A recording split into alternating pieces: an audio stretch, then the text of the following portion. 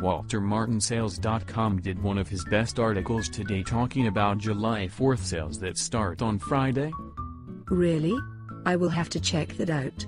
I plan on starting my holiday shopping as soon as I get off work. Yes. He mentioned Sears, Kohl's, Express and Sam's Club. Well, I will have to make a few extra stops to save some money. That would be a good idea. There is a Samsung TV that is marked down at Sam's Club that I am thinking about purchasing. Samsung makes a great TV. One of my best friends has two and she loves them.